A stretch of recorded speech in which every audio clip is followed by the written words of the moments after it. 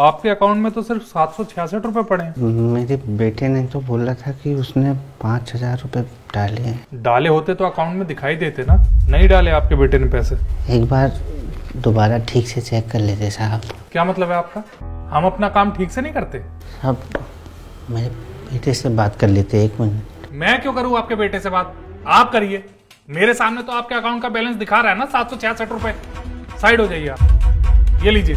अरे uncle side हो जाओ यार दो मिनट इधर आ जाओ यहाँ आ जाओ इस इस साइड आ जाओ। पीछे वाले को आने दीजिए। हटो हटो चलो चलो हटो।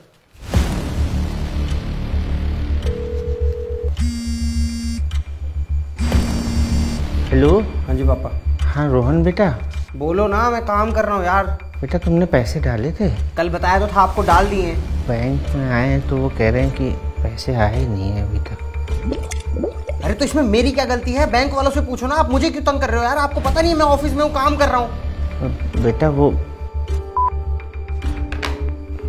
बेटा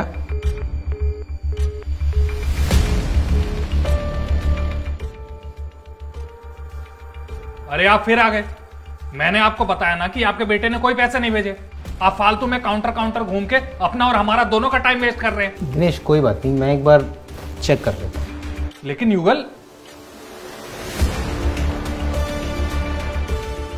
आपके बेटे ने पैसे भेजे हुए हैं। पाँच हज़ार रुपये भेजे हैं ना? जी। यहाँ शो कर रहा है वो पहले शो नहीं किया होगा वो अपडेट थोड़ा सा लेट होता है ना सिस्टम में। इसलिए अकाउंट में शो नहीं किया होगा। भेजे आपके बेटे ने पैसे भेजे। ये ये आपके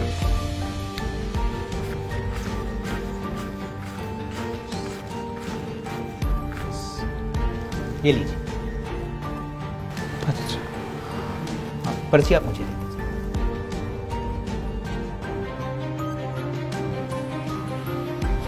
वो साइन अच्छे में नहीं साइन की तो कोई ज़रूरत नहीं है ठीक है। धन्यवाद जी। धन्यवाद।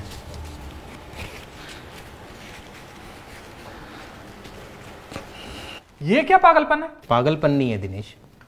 मदद है यार। अगर उसे पता चल जाता है कि उसके बेटे ने पैसे भेजे ही नहीं तो उसे बहुत दुख होता है यार। और अपने बेटे से उसका भरोसा हमेशा हमेशा के लिए टूट जाता।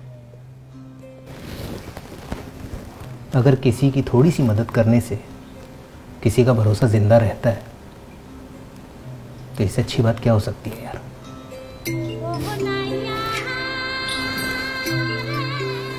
ये देख रहे हैं।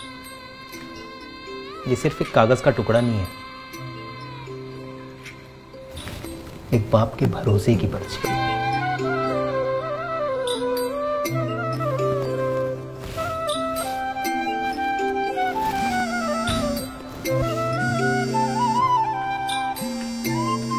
हेलो बेटा रोहन। अरे क्या हो गया पापा यार? क्या हो गया? आपको पता नहीं है मैं ऑफ़िस में काम कर रहा हूँ। आपने तो परेशान कर दिया है मुझे। नहीं बेटा पैसे आ गए हैं। हाँ निकाल लिए पैसे वो इनके कंप्यूटर में दिक्कत थी बेटा। यही बताने के लिए फ़ोन किया था। चलो रखते हैं तुम काम करो हाँ? परेशान नहीं करेंगे तुम्हें। तुम्हारी माँ को अस्पताल लेके भी जाना है। हाँ।